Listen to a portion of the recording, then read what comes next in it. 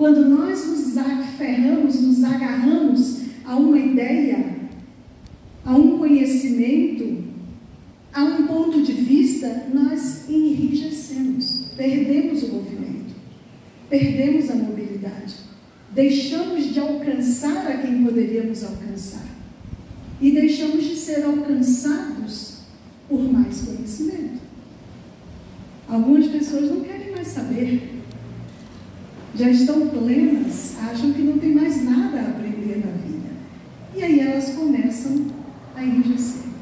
Né? Assim como as nossas articulações, assim como os nossos membros, e não é que precisamos ser assim.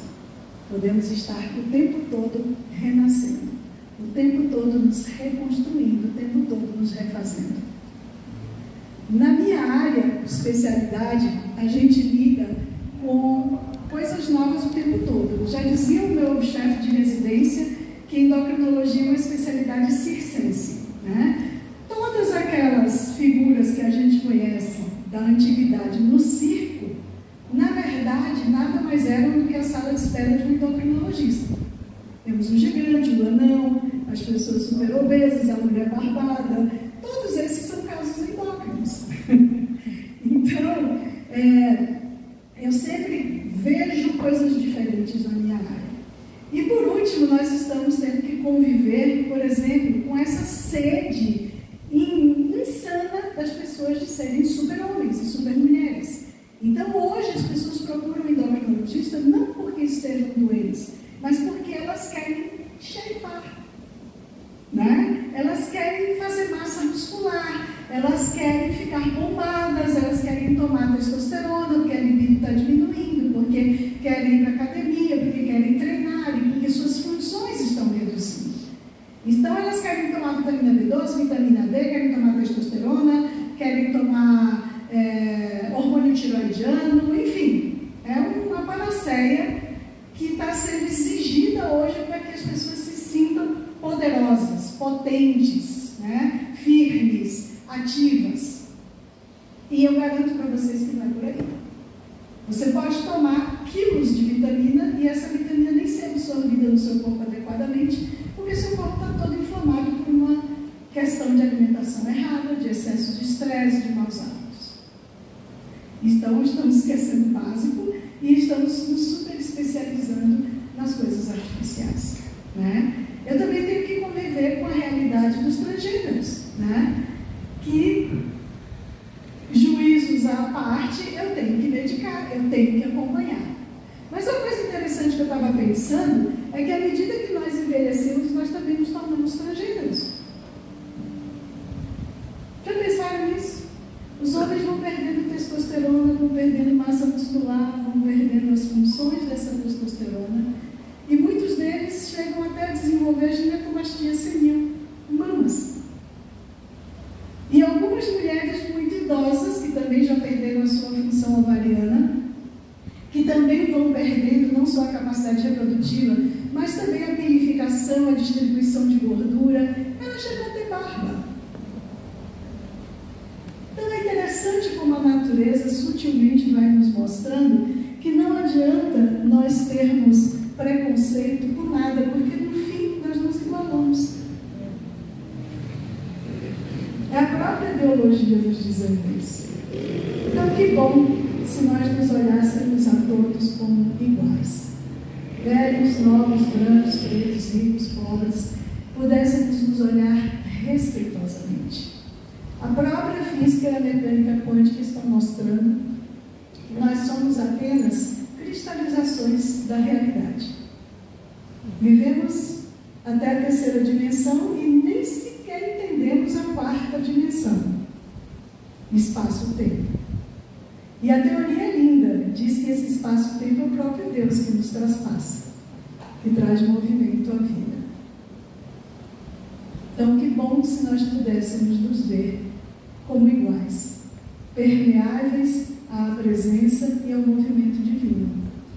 Enquanto estivermos aqui, conscientes, lúcidos, respirando, ativos, tão lindamente ativos como estamos aqui, produzindo, pensando, trocando ideias, né? Ensinando, trazendo cultura.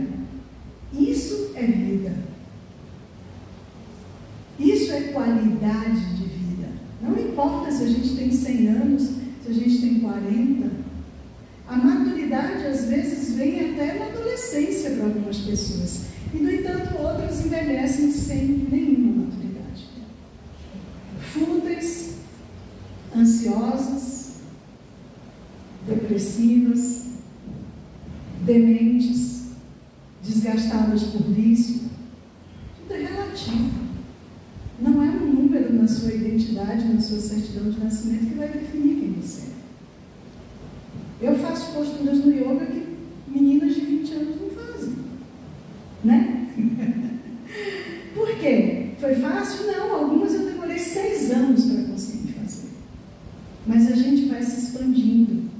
A gente vai persistindo, a gente vai treinando. E o que traz sabedoria para a gente não é o sofrimento. Não é sequer o tempo. É a repetição. É estar firme naquele propósito, ter foco e tentar até conseguir.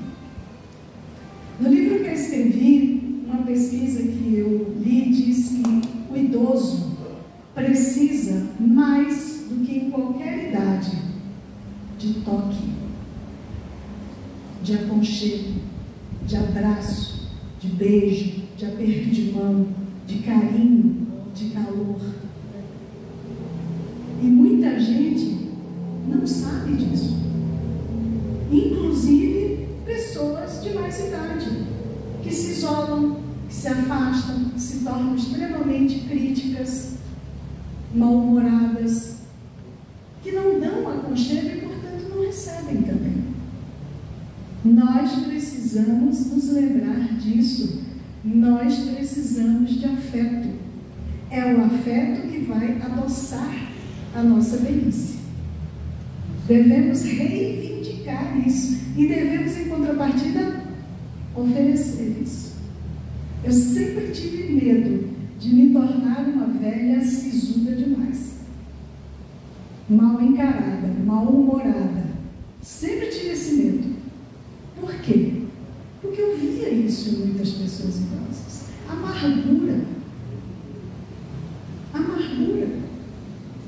E quem nunca sofreu na vida? Mas eu acredito que o sofrimento não é para a nossa destruição. Que interesse Deus, o universo, o absoluto teriam em destruir a sua própria criação?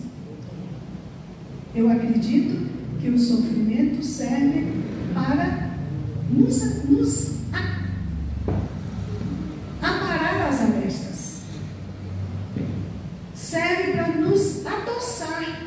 Serve para dizer, puxa, eu sobrevivi a isso. Então eu vou ser grato. Eu vou ser feliz. Eu ensinar sobre resiliência e ser vitorioso. Então, isso obviamente tornaria a pessoa mais doce, mais amável, mais feliz, com brilho no olhar, um sorriso nos lábios, e não amarga. E quando, desde muito jovenzinha, eu via aquelas pessoas idosas, sempre com o senho muito carregado, eu pensava: que esperança eu tenho? Eu vou chegar nesse ponto para isso, para viver assim? Não é?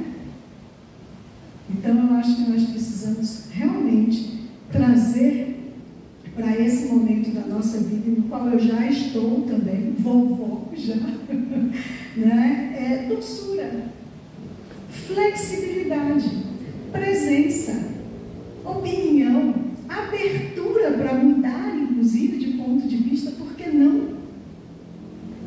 coragem para falar dos próprios sentimentos, coragem para recomeçar, coragem para admitir seus erros, como qualquer ser humano. Temos mais conhecimento, temos mais sabedoria, mas a sabedoria inclui humildade, não é conhecimento absoluto. Então, envelhecer e ainda ser significa apenas uma continuidade. Você vai morrer do viveu. Eu sempre tive esse pensamento comigo. Aquilo que é mais importante na sua vida, que ocupa mais a sua energia, onde você põe mais a sua mente e o seu coração, provavelmente é também o que vai lhe matar. Que valha a pena.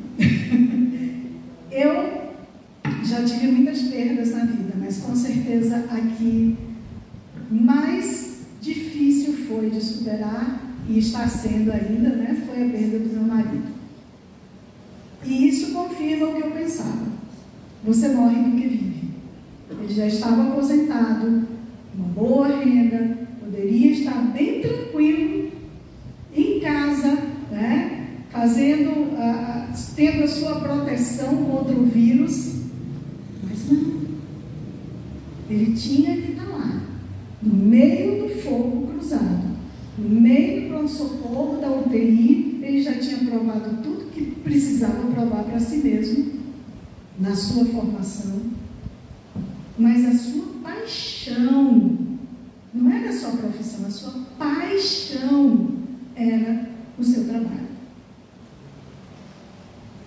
Era a dedicação absurda que ele tinha àquilo. E eu dizia, você não precisa lá, vai trabalhar no consultório, vai atender paciente com agendinha, com hora marcada, bonitinho. Não, quanto mais sangue nos olhos, mais ele queria. E era brilhante, brilhante nos diagnósticos que fazia. Então, foi isso que o matou. Né? Não se acomodar, né? não pensar em si mesmo, mas na sua missão. E lá, morramos por causas nobres. Muito obrigada.